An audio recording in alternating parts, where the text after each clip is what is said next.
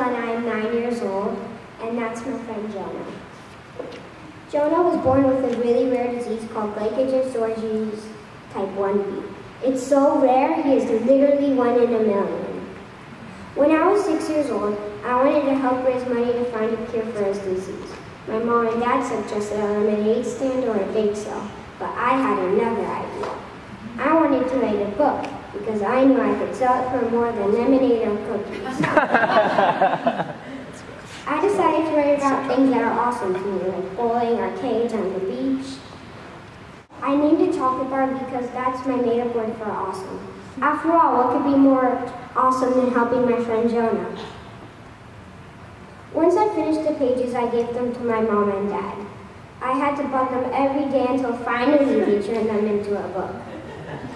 They said I was really persistent, which I think is a nice way of saying I was annoying them.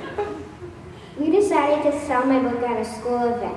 After a few hours, we, we had raised thousands of dollars. It was really fun, but I wanted to do more. I told my parents and everyone everywhere I was going to raise $1 million because Jonah's one in a million. They all thought I was crazy. And my mom asked, know how much a million dollars is? And I responded, yeah, of course, it's half a Bugatti. It's half a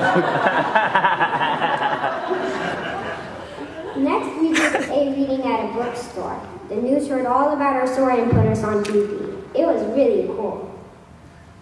Book orders started coming in from all over the world. Everyone pitched in to help. My family, Jonah's family, friends, teachers.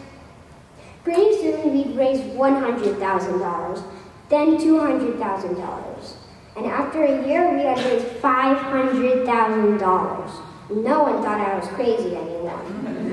Kids started sending me letters saying how much I inspired them, which made me even more determined to reach my goal.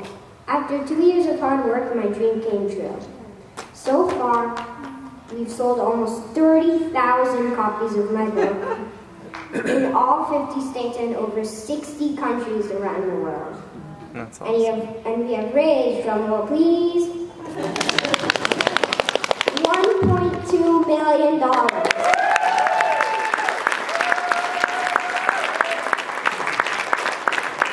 Isn't that so, chocolate bar? I even wrote my book in Portuguese. Now that I've reached my goal, I want to share my story with kids everywhere and show them that they can make a difference too. Thank you so much. You are also chocolate